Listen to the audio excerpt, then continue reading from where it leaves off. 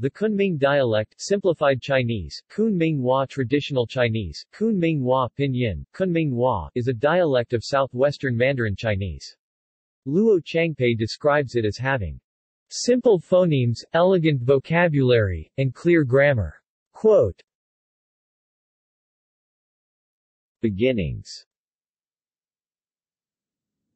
The beginnings of the Kunming dialect are closely linked with the migration of the Han Chinese to Yunnan.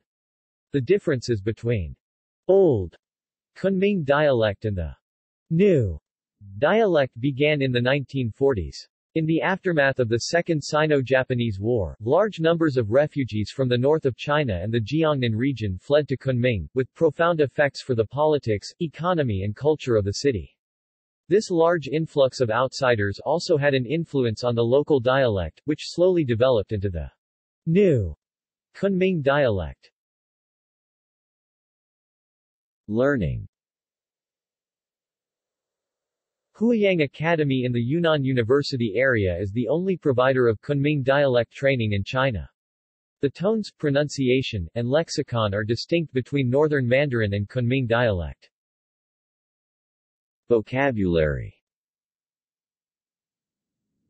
The Kunming dialect's basic vocabulary exhibits a high degree of consistency with Northern Chinese and Standard dialects. Although words in the Kunming dialect typically possess substantial differences in pronunciation from their counterparts in Standard Mandarin and can be unintelligible even to other Chinese speakers, a large portion of the dialect's morphology and word meanings are identical to those of other northern dialects. The Kunming dialect also preserves an exceptionally high number of classical Chinese words. In particular, a number of phrases dating from northern literary works produced during the Yuan and Ming dynasties remain in common usage in the Kunming dialect's popular vernacular despite having virtually disappeared from usage in northern China.